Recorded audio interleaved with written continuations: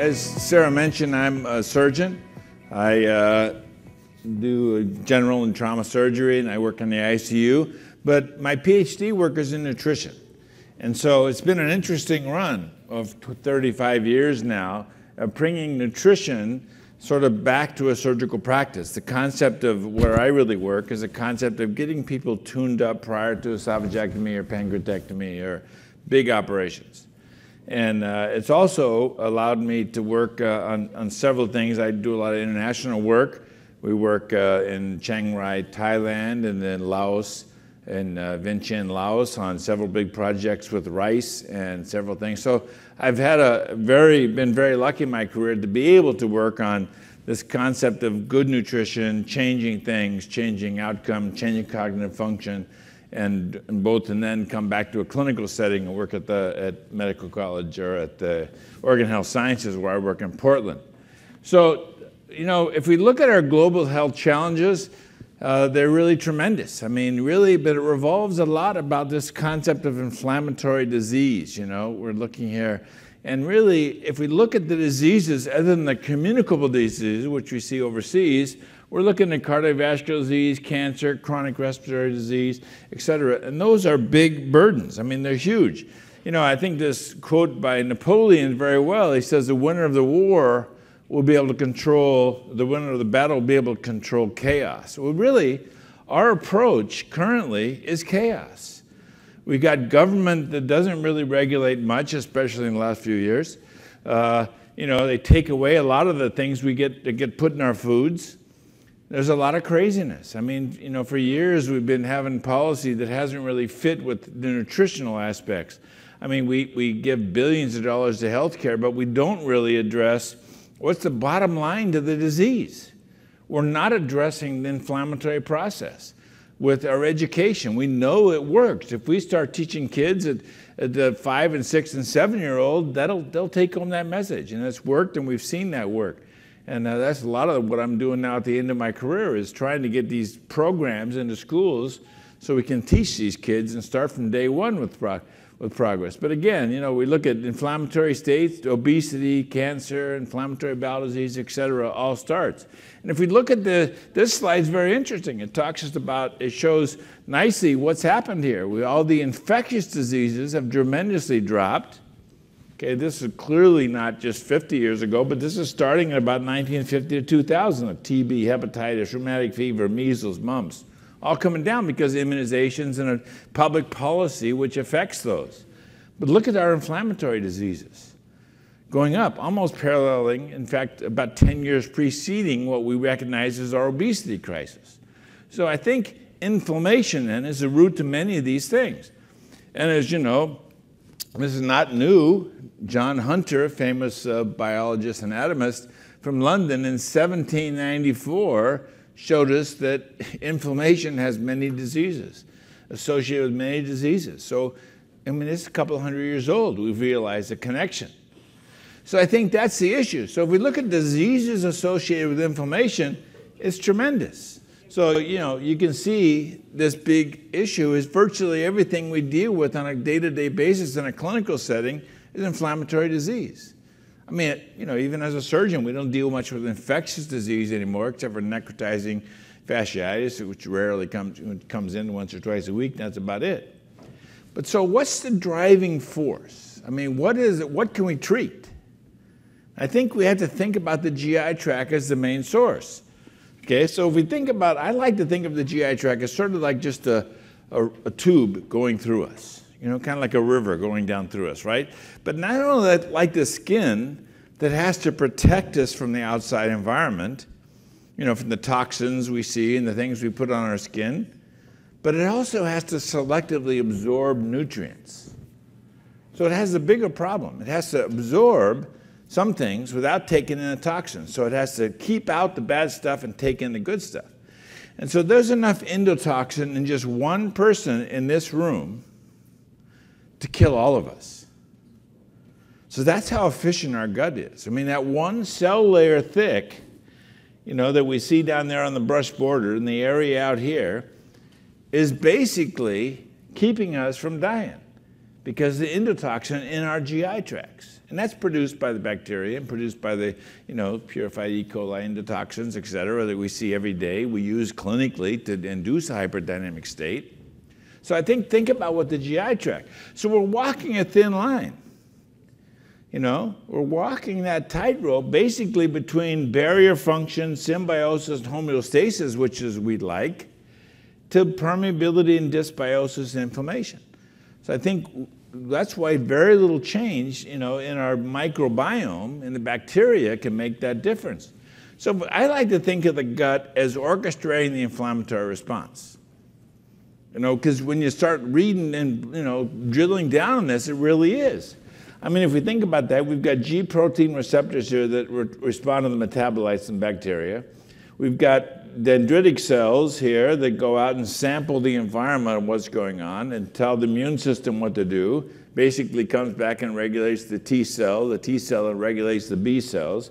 We know that these, these uh, basically the muscularis layer is altered by what's happening in the bowel. We see this every day in the clinical setting with once we've disrupted their bowel and done surgery, we know we alter the mechanical ability to pulp, to peristalse.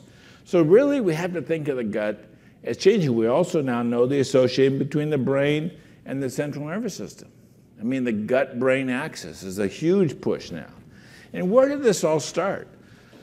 Well, it's actually fairly new. 1977 was this paper by Ben Eiseman, University of Colorado, a surgeon who said, maybe the gut is the source of multiple organ failure. Before, before that, before 1970, we all said, it's just beginning of my surgical training, we all said it's related basically to infection.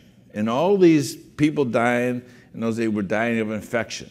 Then Ben started with the concept of maybe it's multiple organ failure related to this uncontrolled inflammatory response, not necessarily infection. Although we spent the next 20 years going through papers that would say there's inflammation, inflammation, but we never could isolate the bacteria.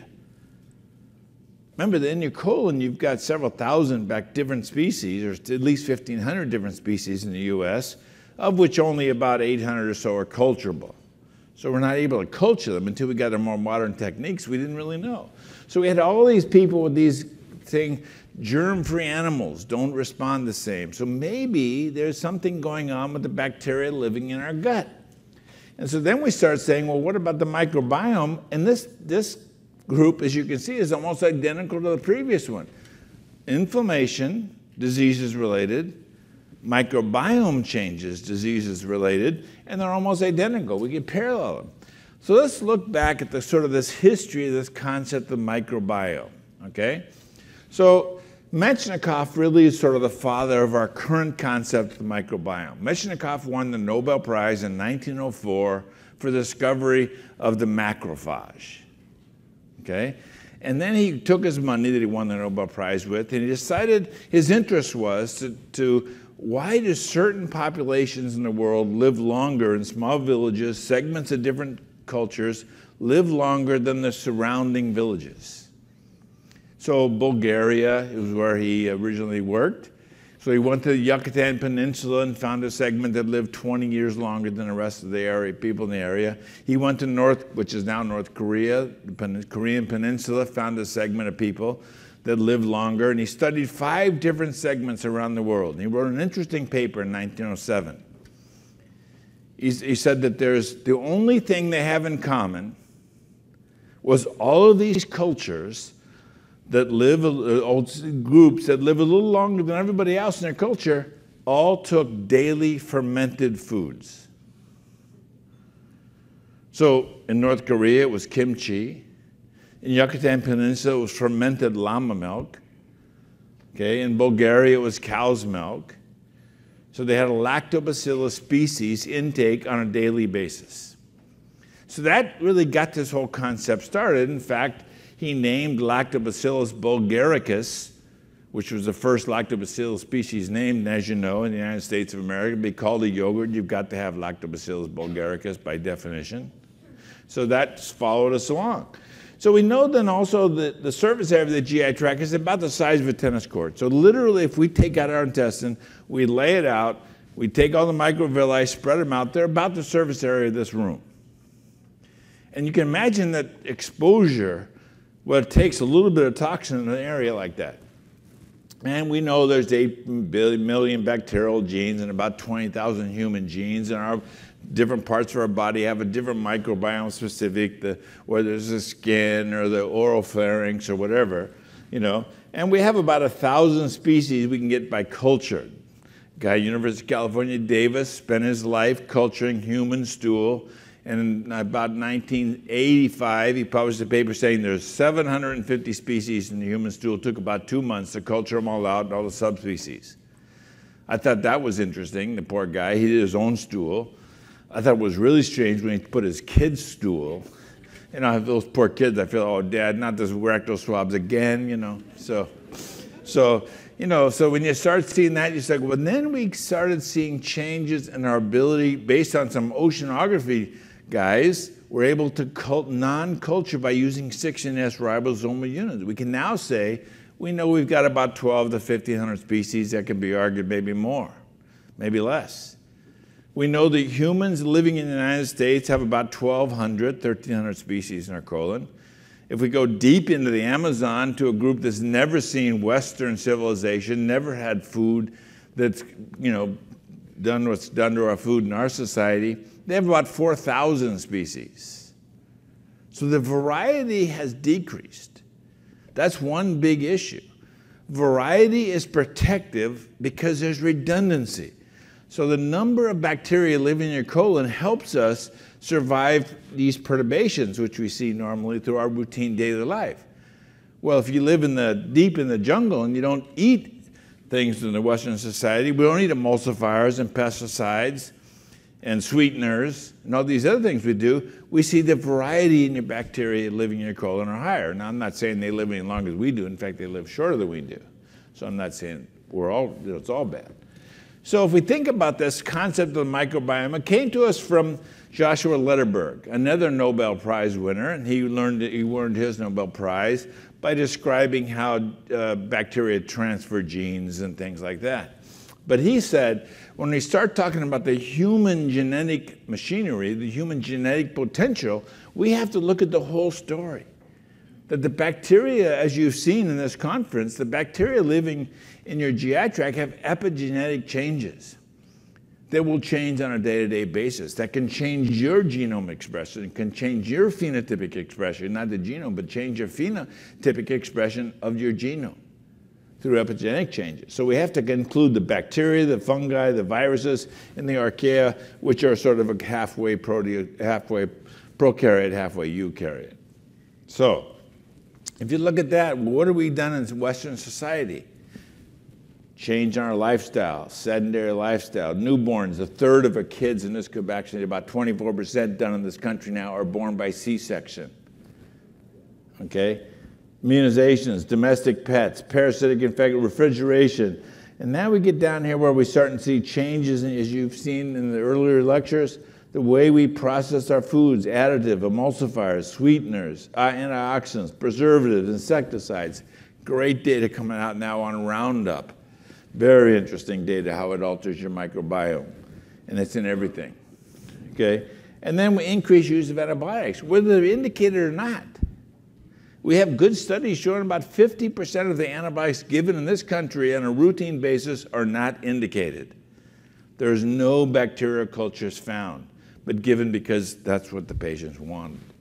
This is a good example here. This slide shows us what happens to Bifidobacteroides, one of these subspecies of Bacteroides, with a single dose of, broad, of clindamycin, which obviously is good to kill an anaerobe. Bacteroides is an anaerobe. Look at this. They took here, day zero, the long-term effects of a seven-day course of clindamycin on Bacteroides. It takes almost a year to get that Bacteroides species back up to normal. A single dose of broad spectrum antibiotics wipes out your normal flora. I know that when I give my patients pre op antibiotics, I know I'm altering their flora. The worst is Cipro. We don't give it as a prophylactic antibiotic anymore because it's routinely known that that's gram for gram the highest cause, Cipro is the highest in, inducer of C. diff, Clostridium difficile. Clostridium difficile called, caused 24,000 deaths in the United States in 2013. Death, 24,000 deaths. I take out a colon about probably four years ago once a month for C. diff sepsis. Someone dying of C. diff sepsis, so I took out their whole colon. Now it's about, we're down because our hospital's way down on C. diff because of our probiotic protocol. I'll show you data for that. Well, I don't know if I have the data for that. So the microbiome, there's all kinds of good data, and again, I don't bore you with the details, but things like the average, you know, by age 10, the average American has taken 10 courses of antibiotics. 50% of pregnant fem females receive antibiotics during pregnancy. These have dramatic effects on our microbiome, which we have to think about these things. Are we doing the right thing? You know? So, so if we think about the microbiome, I like to think of the microbiome, in fact, as an organ, just like your kidney or your brain or your heart or your liver. Because what does it do for us? Not, it's not just passive there like we used to talk about. The microbiome now is actively involved in day to day metabolism it metabolizes drugs. There's very good data now that if you're taking 5-FU for chemotherapy for colon cancer, if you have a sterile animal that takes 5-FU, it takes three times as much 5-FU to get the same killing effect. We know that the bacteria metabolize 5-FU to becomes more active in killing cancer. So the, the microbiome helps us. It metabolizes drug. It produces a myriad vitamins and short chain fatty acids. We know now that 7 to 10% of your leucine, leucine, the major anabolic amino acid, it's the on signal for protein synthetic machinery within the cell. We've got that's hard data. We know 7 to 10% of your leucine comes from colonic production by the bacteria. We have a transporter in your colon now that will trans inducible to translate amino acids. We say medical students are still taught today that the only reason for the colon to absorb sodium and water. There's no nutrients absorbed, but that is absolutely wrong. Short chain fatty acids now, amino acids are absorbed from the colon, small amounts of amino acids. Hormone regulations, immune function, maintaining mucosal barrier, those things are lost when we lose our normal microbiome. So I think we got to think of it that way. We know that the medical community, your guys are going to be much more accepting of this than the MDs. You might say, I've been fighting a losing battle for years, but I'm starting to win the battle. And you know, in 2012, we started hearing about the microbiome in lay press. The cover of the Economist magazine, Microbes Maketh Man. Okay? Scientific American, you know, sort of a lay scientific journal. We started seeing 2012. So starting to see a few things come in. And now virtually every major medical journal and scientific journal has got a major article on microbiome at least once a month. It's everywhere. Nature, of Surgery, uh, JAMA, all of them in 2018, routinely, because it's now part of our normal routine. It's hard. Remember, it takes us 10 years to go from science, benchtop science, to clinical use and we're just now coming back because we've had the science for 20 years. A survey just done a month ago and just published a month ago, done about a year ago in Canada against pharmacists across Canada. They interviewed like 600 pharmacists. Would you ever prescribe antibiotics for an ICU patient? 82% of them said, no, we don't think it's safe. Despite hundreds of articles, prospective, randomized, double-blind trials in two and 3,000 people showing it is safe in an ICU setting. So, needless to say, this is what we're dealing with. We, I have infectious disease doctors in my hospital still think we should not be giving bacteria. We should be killing bacteria. Okay? I mean, that's what they told me when I first got. I moved from Georgia to Oregon 15 years ago. I took a pocket full of protocols with me because we had an ICU protocol in Georgia. which took me a year to get going. It took me three years to get going in Oregon. You'd think in Oregon they'd be a little more progressive, you know, but they weren't. They said, Bob, you can't be given the sickest people in a hospital bacteria. I go, but here's the data. we don't care about the data, basically. okay? So, so here's all the species we talk about. You know, but when we talk about species, now Noah in the next talk will talk about the importance of strain. But remember, we have species and then we have strains. And just because you have a species has one effect doesn't mean all the strains are going to have that effect. So we know that everything affects the microbiome. It takes literally very little to affect the microbiome on a day-to-day basis. I like to look at this. Just international travel, we've got three studies now that show when you get on a plane in Los Angeles, San Francisco, and you land in Thailand, your microbiome has dramatically changed. A 16 hour flight change. Remember, the half life of these things are anywhere from five minutes to 30 minutes. They divide. 16 hour flight, you get a lot of subdivisions. You get a lot of epigenetic changes that can alter them. My favorite study is this one here in dogs. When, you, when they took a family before they bought their dog, they cultured everybody in the family oral pharynx, the stool, the skin, everything. Different places on the skin, the hands. And then they did it five days, or three days later, seven days later, 14 days later, a month later. And guess what? All the humans living in that house became more like the dog, and the dog became much more like the people. And guess who's the fastest to change? Kids. Because I know, like with my dog, when my grandkids come to the house, he's in heaven. Because they drop all kinds of food, and if they didn't drop it, they leave it on their face, and he gets it off their face. so I think it, it really happens. So, so anyway, all these things contribute to the microbiome and the rapid change. There's altered intestinal permeability once we get dysbiosis. Remember, variety is your friend. We want a variety of these things. We don't want to see decreasing variety, and one broad spectrum antibiotics like Cipro takes it from 1,000 species to about 250 within 12 hours. So that's dramatic. We, I'll show you some data in the ICU. But this, think what, if you think that happens in the community setting, what happens in the clinical setting?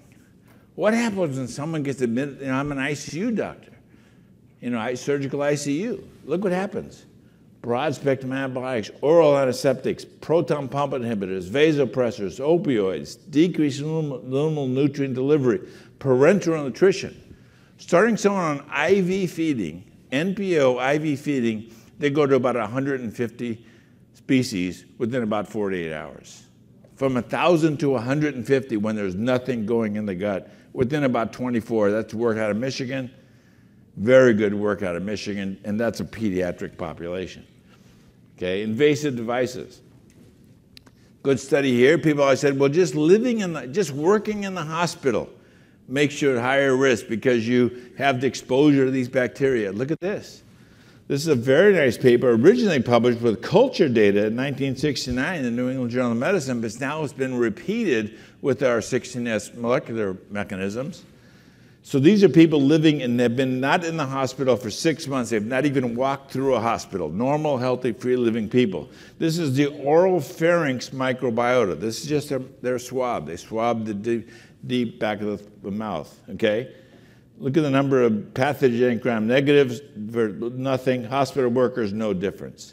If you're mildly ill, not requiring hospitalization, no change. But look at this, moderate. Look what happens to critically ill people rapidly changing because of critical illness. So that's what we have to define. We have to maintain a healthy microbiome, sort of with these commensals and symbionts, and not get into the situation with a pathobiome.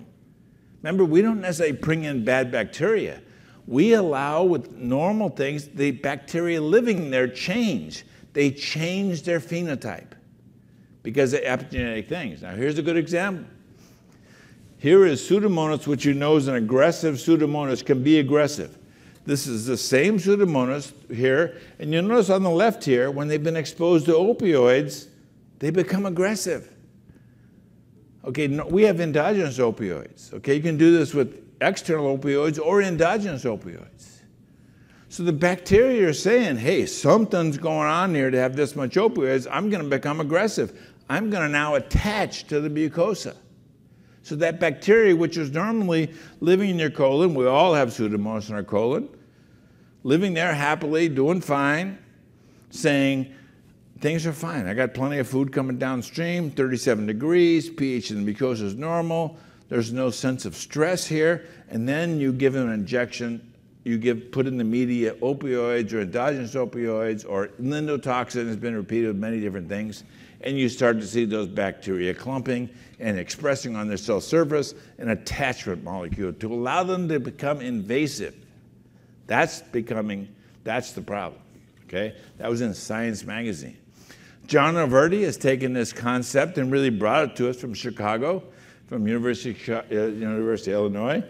So what he said is that we have a microbiome which becomes a pathobiome when we're stressed. Multiple operations, whether it be mental stress or be work stress, stress changes your microbiome. Okay? So I don't want to bore you with a bunch of rat data, but this study is very illustrative. What this shows us here is two animals. One gets a sham operation, the other gets a hepatectomy, so half their liver is removed. Okay? That's pretty big stress on humans or on rats. Okay? But in, before they did that operation, they in, inoculated in their cecum this bacteria, okay, the Pseudomonas. Okay, so they inoculate both groups with the, with the cecum, and then they operate on them. So one gets a sham operation, open and closed, no real stress. Animal wakes up, runs around the cage. Hepatectomy, they come out, they actually do pretty well. They come, they start running around the cage, but they're a little slow, so it's significant stress. Okay, then one, 24 hours later, they kill the animal, take out the bacteria, isolate the Pseudomonas now, and then look at it, okay? And look at the survival. The animals, okay, 100% survival in the animals that got a sham operation. Remember, it's the same bacteria, just a different operation. The animals that got hepatectomy, 100% mortality. So just having an operation caused that Pseudomonas to become from benign to aggressive and lethal. That's why it's important to maintain a healthy microbiome during illness. This shows you if you've had antibiotics in the prior six months prior to an ICU stay, look at the mortality. If you're sick in the ICU, a 30% increase in mortality if you got any antibiotics in the prior six months prior to that hospitalization. So, what can we do? There's lots of mechanism. How does you know how does having the right bacteria help us? Having a probiotic situation help us? Competitive inhibitions. It inhibits this is Lactobacillus reuteri inhibiting Staph aureus. It causes induction of heat shock protein, which is the protein produced by your cells to prevent stress from a, prevent injury from a subsequent stress. Tight junction proteins. Noah will talk about this. It maintains the glue that holds your intestinal cells together, not to allow the toxins in. That's the bottom line on those. It enhances mucosal blood flow. We know that having the right bacteria increases blood flow 30 to 50%. This is a germ-free animal. This is an animal that got Bifidobacterium theta. 50% increase in blood flow within 24 hours. To heal mucosal lesions, you've got to have good blood flow. Increases GI motility, stimulates gut immunity, helps maintain the normal microbiome. That's C. diff, colon right there. And then butyrate. Butyrate, we used to think, is only in the colon and it's made by the bacteria fermentation of good fibers, of soluble fibers is our main source of butyrate production. It's about 8 millimole in the colon. It's about 8 micromole in a serum. We now know there's a transporter, a short chain fatty acid transporter in the colon to make the concentration going from low to high. That wasn't discovered until Ganapathy in 2005 discovered the short chain fatty acid transport in the colon. So this is relatively new stuff. So now we know that, because we used to say, why is it that people have less cancer when they have high fiber diets? They have less infections when they have high fiber diets. Now we know that as you, we produce short chain fatty acids, they get absorbed, and we see increased killing by the macrophage. This is a macrophage right here. It's a small picture. There's a little gram-negative E. coli right there. You notice a green spot. For that macrophage to kill that bacteria, what has to happen? First, it has to recognize there's E. coli there. Just to send out a pseudopod, that's a pseudopod there. This is the macrophage sending out a pseudopod. It engulfs that E. coli and then produces an oxidative or nitrogenous burst which kills the, uh, the E. coli. We know that when you've got short chain fatty acids bound to that macrophage, there's nine or 10 different binding sites on a macrophage. When you've got you've got butyrate bound to your macrophage, your killing is tremendously improved. You kill about, some people estimate up to 20 bacteria before the cell undergoes apoptosis. Normally, about nine bacteria are killed by a macrophage before it undergoes apoptosis. When you enhance the killing ability of the macrophage, you get better. So this is just a list of the short chain fatty acid stuff. Uh, it's tremendous big list. We, I working on, we're working on several projects with our cancer group. Uh, we've been very lucky. We've been well funded by our cancer group. Uh, this uh, histone deacetylase we know is the issue and sort of the promoter for colon cancer. We know that's now decreased. We can decrease that promotion when we have plenty of the right microbiome around. So this is new data here, very interesting. So we used to say, what is it, why do people do better with their rehabilitation after surgery when they've got short chain, when they have a fiber diet which gives them high rates of butyrate? So this paper is very interesting. Short chain fatty acids enhance muscle function and mitochondrial biogenesis. So when you've got butyrate on board circulating around, and now you're rehabbing after a big operation or after a stroke, we know that eh, essentially potentiates the effects of exercise and muscle maintenance by enhancing the number of mitochondria within the myocyte. Very interesting work. So let's look at a couple scenarios here. I got about 20 minutes left. So we got leaky gut, okay, oh, diabetes and depression. Well, leaky gut we've all heard about, you know, and I have to say, on the, I be, I've believed in leaky gut for a long time. The MD side, my partners go, give me a break, you know, leaky gut, you know, business. So, you know, but there's data supporting and there's data refuting, you know, so I give you an equal balance there. But gut permeability, and we know the definitions. Leaky gut refers to this, but you know, sustained mainly by nutritionists and practitioners of alternative medicine. So basically saying MDs don't believe in it. That's probably true. Okay? MD answer when you have Don Kirby, who's chief of GI up at Cleveland Clinic or chief of the GI section. Uh, MD standpoint is very gray area, so we don't really know. We're not saying it's not there, but we sort of don't, you know, sort of wonder, you know. So basically, you see all these sort of nebulous symptoms, right?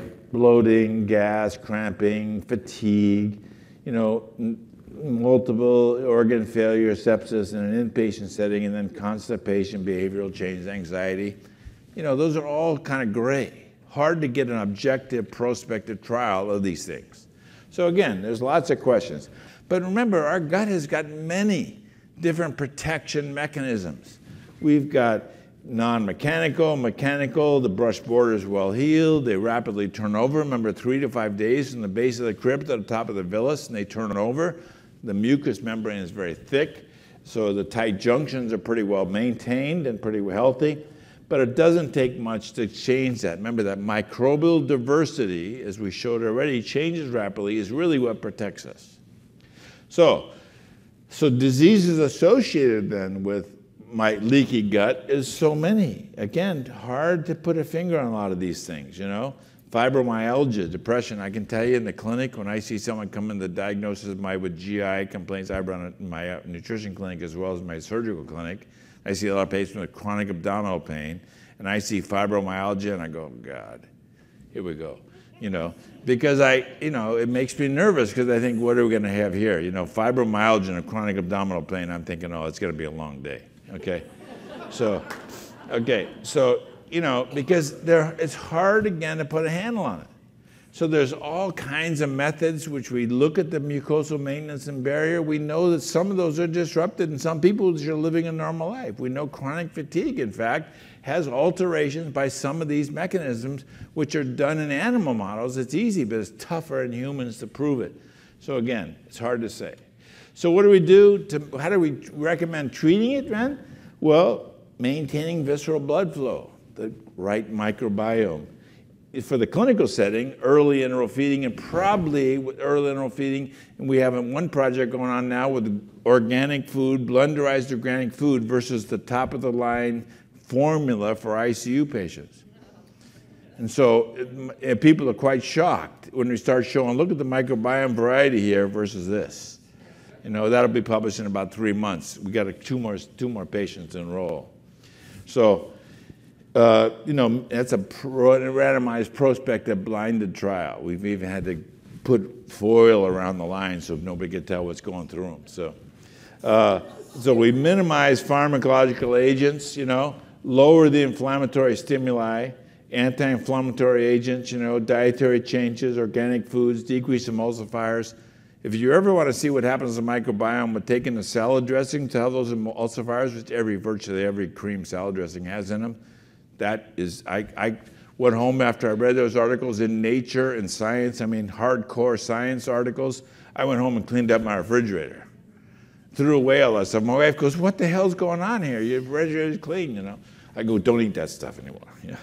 So anyway, I go, uh, n equals one. Well, what about obesity? Well, we know this is here. You can see the South really takes a hit. This is BMI.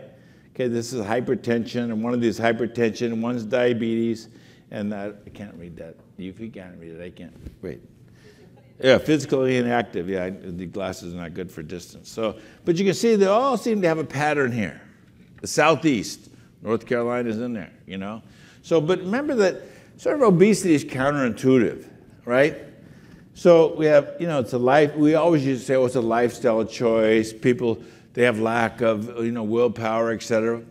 That's really not the case. And I tell you, for 20 years, I did bariatric surgery, not because I wanted to, because I worked for the Medical College of Georgia, and nobody else would do it. So I had a lot of bariatric cases. And I used to go, you know, they just have to quit eating, okay? That's not the case. I've learned that through my studies in obesity and multiple projects I've been on, NIH funded stuff. It's, a, it's not just eating too much. It's not a single disorder. There's several dozen genetic phenotypes that end up being related. Okay, but mainly it's inflammatory. Remember that obesity is inflammatory disease. We know that people have higher CRPs. We have all their inflammatory markers are up in obesity. So that sets them up, right? If we look at, look at this with diabetes, a close association with diabetes, type 2 diabetes is proportion of diseases prevalent attributable to obesity. Type 2 diabetes, 57% of the type 2 diabetes in this country is related to obesity. So if we can cure that, if we can get these people eating right, we'll make a difference. That's not just one reference. These are all 2015, 2016 references. Okay? Cancer, 30% of the cancer is thought to be from changes in diet, you know, gallbladder disease, hypertension, et cetera. Look at the cost difference when someone comes into your emergency room with chest pain with obesity, 41% higher cost. Again, the government should say, we're paying a bill for 60% of this health care. If we just managed obesity, our health care costs would go down tremendously. So our education programs, I don't mean to get in that soapbox, but that's where we need to be focusing. So we get this metabolic inflammation, right? We see the pancreas altered, we see muscle altered, we see, you know, basically sarcopenia with increased fatty concentration of muscles, so you, the function of the muscles is very poor, so low-grade inflammatory process. So the question then is, can we, by controlling, controlling obesity and diabetes, change this? trajectory? That's really the question. Well, look at this. We know that obesity is a tremendous change here. This is lean.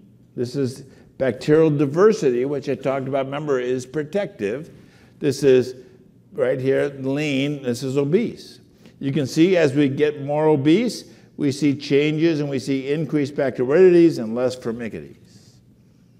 Okay? So this is, again, this is a very good study here on human, this is transplanted stool. So they, okay, they took, what they did here was they took humans that were obese and humans that were thin, and they transplanted that stool into a germ-free mouse.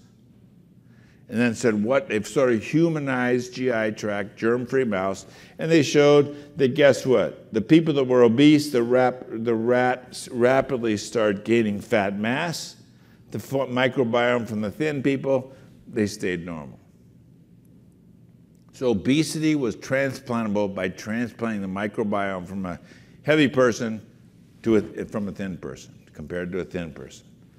We know that our Western diet alters microbial diversity in mice. Again, germ-free mice. We take a Western, put them on a McDonald's diet and Burger King and Taco Bell and all these others, and guess what happens?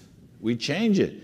We decrease diversity, we increase firmicutes, we decrease bacteroides. Remember that switch we see, and even with people that lose weight, we see a switch back. After gastric bypass, we see a switch back to a more normal, lean person's not that I'm saying gastric bypass is the answer, you know.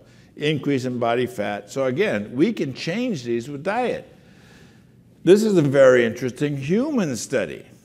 Okay, what they did here was they took humans, right, and then they took some of their stool and they gave either their own stool back to them or they take stool from a lean person, non diabetic, and give that to them. This is a stool transplant program in humans. And then they looked at insulin resistance. So, did insulin resistance change when a person with heavy person with diabetes gets stool from a, a light person, okay, a lean person? And you can see there, absolutely. No change in the ones who got his own stool back didn't change, but there you can see the insulin resistance goes down tremendously when they get stool from a lean person. So Big difference. Germ-free mice studies, you can see, this is, again, I'm not going to bore the details, but the bottom line is if you give uh, the bacteria to the wrong bacteria, germ-free animals will rapidly go, uh, rapidly gain. You can see mice are protected, germ-free mice, if you give them this diet-induced with no bacteria in your colon, guess what? You can't make them fat, even with a McDonald's diet. You give the same animal with normal bacteria, they're going to gain weight. Germ-free mice don't gain weight. So again, eh, endotoxin, you know, another way to give low-grade inflammation. Low-grade endotoxin causes the same changes in the bacteria as well as in the liver. Feeding high-fat diet increases permeability. We're back to the idea that this fat changes, the microbiome changes. We don't know. It wasn't the fat that caused it. It was the microbiome changes that caused the loss of the loss in these brush borders, these glue that holds your cells together, inducing a chronic inflammatory state. So again, it's just a diagram showing the same thing. Change in bacteria causes loss of this brush border, causes changes in the tight junctions. Thereby, we increase fatty liver. We know that's the case now. So again, very metabolically active by changing in bacteria. But what about the brain? Can we change cognition? Well, we now know that in fact, recently shown that we can give gut microbial access involved in behavior, neurogenesis, neuroplasticity. We can give the right probiotic and see those changes. We can see significant changes in microglial cells. We now have human data on microbiome. There's a data now, Prozac versus probiotics, and they have almost identical on decreasing depression. Okay? So that data, anxiety and stress, depression, you know, um, obsessive compulsive disorder, ADHD, and others. Remember that 90% of the fibers in your vagus nerve, right, we talk about the 10th cranial nerve, 90% of those fibers are going to the brain, not coming from the brain. So what does that tell us? This, remember the, the vagus nerve innervates through almost the transverse and left colon, the whole right colon. So it's taking all this information, 90% is being transported to the brain. Well, you can see what happens through the, this microbiome affects the brain through vagal stimulation, through all the neurotransmitters and metabolites that the bacteria produce, as well as these microbial associated molecular patterns, the so-called MAMPs. So tremendous amount of input coming from the GI tract going to the brain. It doesn't surprise us that we can affect the brain. We have all kind, you know, with, with microbiota absent, in the germ-free animals, we see altered sociability decreased memory, increased stress response, cortisol. When you give an animal that's germ-free, LPS stress or shock, or put them on a treadmill and run them to you know exhaustion, guess what? The animals with no bacteria cannot go as long. They cannot. They increase stress response. Cortisol, ACTH, epinephrine, norepinephrine, IL-1, IL-2, all those things are altered. So again, you know, it, it goes on and on. What about clinical use of probiotics? What can we show there? Well, I think we've got three ways we can do that, right? We can either resupply beneficial microbes, giving probiotics. Again, we've got to be careful with probiotics because it's not all perfect. We can give prebiotics, good soluble fibers, and now they've shown data that insoluble fibers also affect the mi microbiome, not as dramatic. Or we can give fecal transplantation, which we do in the ICU setting with overwhelming sepsis now and with C. diff sepsis. Okay, so let's look at this study. This was done in Lund, Sweden. They took factory workers in the Volvo factory. That's very interesting. And they said, okay, if you take your break, half the factory that joined the study will get one red straw, which is coated with Lactobacillus reuteri. The other group will get a straw with no coating. And if you drink three ounces of your drink, we'll give you a free drink during the break. But you have to drink at least three ounces of a six ounce drink and they followed him for a year. That's the only thing they did. You got free drink at the break if you join the study. Okay? Look at this. Number of sick days were cut in half. Pretty dramatic. prospective, randomized, blinded trial. How about this trial? This is done in kids in New York State, okay? They gave, these kids are four to 10 months old you know, that they're fomites at that age, as you know, if you ever had kids in a nursery school, they come home and you get everything they get, okay? They got a placebo here with the green. They got lactobacillus, bifidobacterium lactis, which is not much probiotic, probiotic activity, and lactobacillus reuteri. And look at this. Clinic visits, days absent daycare, antibiotics prescribed. The number of antibiotics prescribed during that six months was down 70% in those kids. Now, you say, well, come on, this is done in New York State, where if they're going to give a kid in nursery school, a teacher has to write down if they received antibiotics. So that data is pretty solid. Days absent, a little bit gray, but if you got antibiotics, that clearly shows, because in New York State, you had to prove it. Now, here's one you're never going to figure. When I read this study in 2010 here, published in British Journal of Nutrition, which is the high quality journal, published 2009, I said, give me a break. They gave probiotics to high risk pregnancy. Remember, high risk pregnancy, over, women over 38, I think it is now, coming to the high risk clinic. The bottom line is about 30, you see, this is glucose intolerance. About 36% of high risk pregnancies get glucose intolerance during pregnancy, during the last trimester. So what they did here was they gave probiotics versus control, right? Control group had 36%, placebo, dead probiotics at 34%, and then active live probiotics at 13%. So gestational diabetes, you cut by half by just giving probiotics during the last trimester. British Journal of Nutrition, high quality. I still didn't believe it. I said, I want to see this repeated.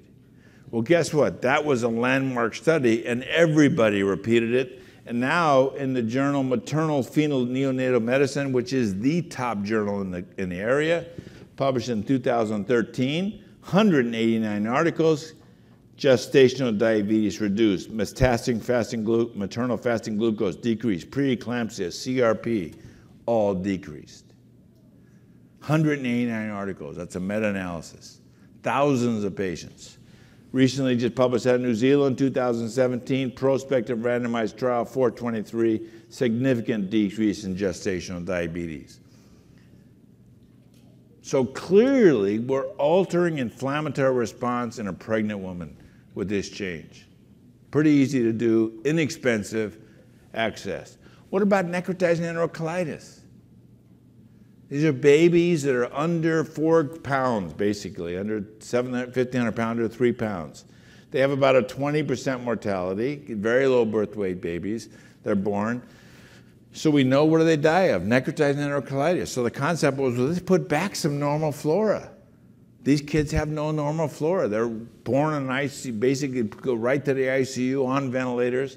So what do they do? They gave 566 infants, 556, five probiotics, four bifidobacterium. They simulated what a healthy normal baby, tried to figure out what they were growing, put that back in. NEC went from 9 to 5%. At my hospital now, we routinely give our very low birth weight infants bacterial infusions on day one of life. It took me four and a half years to get it through, but the pediatricians finally started saying, well, maybe there's something to this because there's an overwhelming amount of data now. Okay? What about surgical infections? You know, 14 trials, 1,500 patients, decreased surgical site infections. Number needed to treat 18. And GI sepsis, all these things. Again, I'm not going to bore you with all these surgical things, but this one I want you to look at. This study is a landmark study. Okay, Nature, the best journal. I only wish I had more papers in Nature, okay? This is the kind of thing that wins a Nobel Prize. Okay, this is NIH funded, National U.S. National Institute of Health funded in children for, to prevent sepsis in India, which is high risk. So these are not sick babies. These are healthy babies, randomized, double-blind, placebo-controlled trial, lactobacillus plantarum plus fructooligosaccharides. 4,000 infants, greater than 2,000 grams, so this is five pounds and above pretty much, all had at least 35 weeks gestation. So these are normal, healthy babies. Okay, they came, this, they use WHO criteria for sepsis, NIH funded, they showed 42% reduction in sepsis in these kids. Remember, these are rural India. You can't afford big time medicine. Lactobacillus plantarum and fructooligosaccharides, one week of treatment, $1. 42% reduction in sepsis for a dollar a week. This has now been repeated with a 2,000 patient study in Bangladesh. It's ongoing study now in Laos, ongoing study. I haven't got the results of that yet. So we can do this with microbiome changes. We can do, we don't need these fancy drugs. A dollar a week, decreasing sepsis. So what about C. diff? We, you know, we know what causes C. diff. Look at this, JAMA 2012 on antibiotic-associated diarrhea. 11,000 patients, 60% down decrease in antibiotic-associated diarrhea. Okay, what about C. diff? The first major paper decreasing C. diff, randomized double-blind placebo-controlled trial, British Journal of, of Medicine, uh, British Medical Journal, 135, C. diff 0 versus 9 at 53. That was the first big prospective trial. Look at this, the Annals of Internal Medicine, I know the medical residents carry this around in their pockets. Best one, best journal. You know, surgeons we don't read we don't read the journals. We look at the pictures. You know, but 4,800 patients, basically 4,000 patients. What do they find here? 66% decrease in C. diff. Okay, here is a big article just published December 2017. C. diff 1.6 from 3.9 incidence. 6,000 patient prospective trial, 19 published there, I mean, a meta-analysis. The question was here, if you start probi probiotics the day you start antibiotics, you do not get C. diff. If you wait three days, which is what this study showed, timing is key. Okay, but what about this one? Look at this, another study. Decrease 60% risk. The more bacteria you have, the more probiotics you have, the better chance you have. This is 6,000 patients publishing in this big journal, different group. So we've got multiple patients. Do they work? Does it work? If you, this is where I work here, the big hospital in the Northwest, the big teaching hospital. We went from 2.2 incidents in the ICU, people got antibiotics down to 0.7 by just instituting probiotic protocol. Cost us about 61 cents a day. remember, one episode of C. diff sepsis, 100 grand. So you can buy a lot of probiotics. But remember, you can't just use any probiotic. This is a nice study done in England where they said, okay, let's see if we can give yogurt and prevent this. Okay? So they took the most common yogurt sold in England. They then screened 17,000 people, at 3,000 met criteria, and they basically showed C. diff no change. Because remember, it's a strain specific, species specific, so you got to have the right species to the effect. And I could go on and on about all these studies, sepsis, C. diff, ventilator-associated pneumonia, et cetera. But again, I won't bore you with that. A little bit on, on prebiotics. Remember, prebiotics is a substrate for the bacteria to produce. Prebiotics are, you know, these are usually soluble fibers. Probably the ultimate prebiotic is breast milk. There's a tremendous amount of prebiotic in breast milk. 15%, 15% of the carbohydrate in breast milk cannot be absorbed by the baby. You think about that evolutionarily, why on earth would we evolve to not let the baby absorb this nutrient produced by the mother? That nutrient is specifically not absorbed because it wants to make the right bacteria in the colon to give substrate to produce, produce increased lactobacillus, increased bifidobacterium. So Mother Nature is very smart. Okay, it makes it that way. You know, the number one killer, I do a lot of work in Laos, the number one killer in the first six months of life in this world, not in the United States, but in the world, is still diarrhea diseases. So it would only make sense that if we give the right formula, mother's milk, it works. We now have one protocol where we're giving human milk sugars in the ICU in people with gut failure. They come into us after multiple operations. So it's a very exciting area, and we now know it's not just the soluble fibers, but in fact the non-fermentable fibers. This is a mouse model of sepsis. We can stop and decrease sepsis even with the non-fermentable fibers. So again, you know, fibers I can't say enough good things about. We now know these multiple papers, you can see all 2016, 2017, decrease in all-cause mortality by a high fiber diet, decreased diabetes, coronary heart disease, decreased cancer, et cetera, et cetera. These are very good journals, very good articles to show that. Are they safe? The bottom line is the answer is yes. We give them in our hospital to everybody, transplant, liver transplants, everybody except bone marrow transplant, just got to quit fighting with the ID guys. Okay? There's no data that hurts them, but there's no data that helps them. We know in liver transplant we decrease sepsis, so that was an easy no-brainer. The transplanter said, okay, we'll do it. So I think we've got to start thinking about changing the way we do things, bioecological control, rather than killing bacteria. One of our projects now, we just got a big grant from the Nike people. Uh, Phil Knight from Nike has been very benevolent. He lives in Portland. He gave us $1 billion to study cancer. He gave us $400 million to study cardiac disease. And we've got a big project now going on with us in Combined University of Oregon. Not me a billion, he gave the university a billion. I just wish I had a billion. Anyway, uh, we now combine, we know that if you're in certain beds in our hospital, your risk of C. diff is higher. This is a skeleton map of our hospital. You don't want to be on 14K.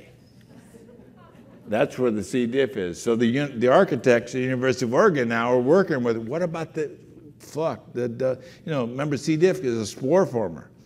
Spores from C. diff can travel nine meters. So we know now we're checking ducts, we're checking this, we're checking that all over the hospital. So that's part of that big project.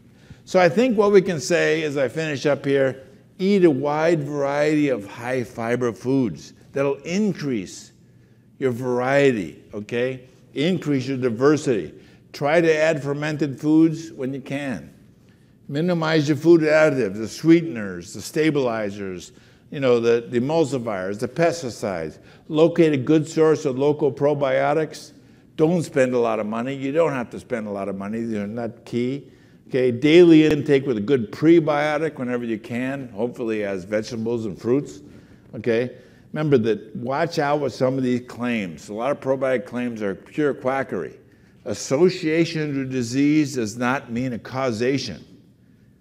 We got to be careful there. We remember we got to look at the science. We can't just go with some crazy article from some crazy journal. Remember, more bacteria does not automatically mean it's better. Thank you very much.